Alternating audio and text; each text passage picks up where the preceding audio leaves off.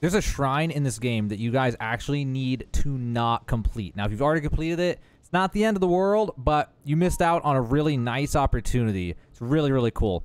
So there's a shrine over here on the map.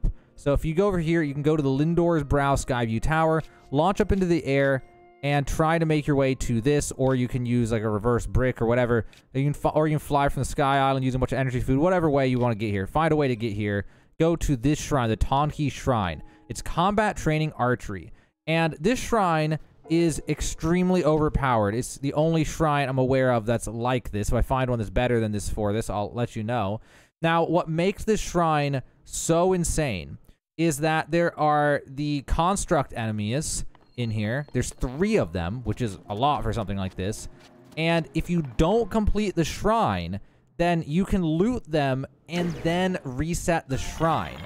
And the reason that matters is because these guys drop Zonai charges, which if you've gotten into the Zonai charge set part of the game trying to get those, you'll realize getting enough Zonai charges is kind of a pain in the butt. It's really annoying trying to get enough. Now, there's Flux Constructs that you can farm, but you can only do it once every Blood Moon. So even if you know where all the locations are, and you have a route mapped out, and you go and you get, like, you know, 60 of them real fast by killing a few Constructs, the easy ones at least, Construct 3s are a nightmare to kill unless you have, like, endgame weapons, um, then you'll realize how hard it is to get, um, how hard it is to get Zonai charges.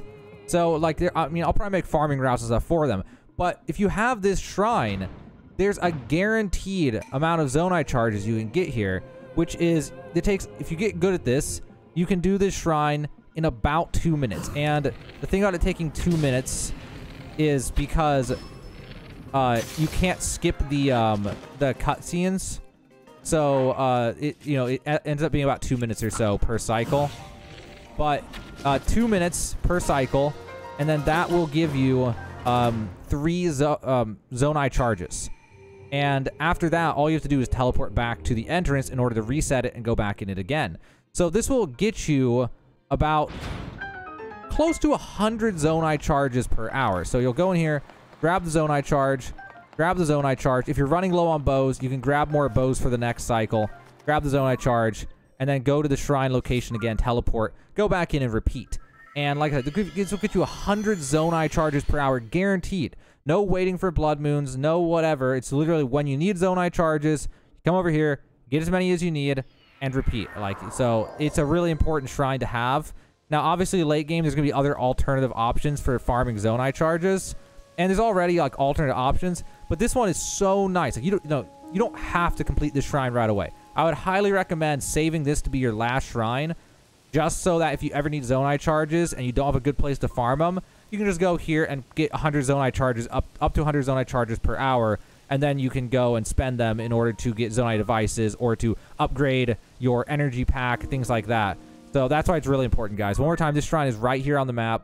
You can get to it probably from this tower. I, I, I didn't get it from tower. I had to use the reverse rock and loop in the air, but whichever way you want to try to get here, there's a bunch of different ways. You, you could even fly all the way from this sky island here probably or something. Uh, but there you go, guys. Uh, go to this place, Get it, but don't complete it until you're actually ready. Don't complete it until you know of a really insane Zonai farm, Zonai charge farm. And also, I'll be looking for Zonai charge farms, and when I do, I'll post about it and let you guys know. But yeah, so definitely don't do the shrine. It's like the best early game Zonai charge farm that you can do that's consistent. You don't have to wait for blood moons. You don't have to wait for respawns. You just come here, get them whenever you need them. Oh, and by the way, if you need arrows, I mean, this is basically converting arrows to Zonai charges. If you do need arrows, you can just buy them from a bunch. You can buy them from a ton of different vendors. You can just go to Lookout Landing Skyview Tower and buy them, or just go check a bunch a bunch of different vendors all over the map have them. Uh, and if you need rupees, you can always go down here to the Mararian Shrine and do the mini game up here in order to get rupees. If you need help with that mini game, you can get up to like probably up to about 10,000 rupees per hour doing that. And I have a guide for that in the description of this video if you want to try to find it in my big bunch of links down there. But you can do that to get the rupees to buy the arrows and then come up here and have enough arrows to do get as many Zonai charges as you want. So that's what you can do in order to make sure you have enough arrows. But either way, guys, now you know how to get up to 100 Zonai charges per hour consistently, no waiting, whenever you want them in Legend of Zelda Tears of the Kingdom.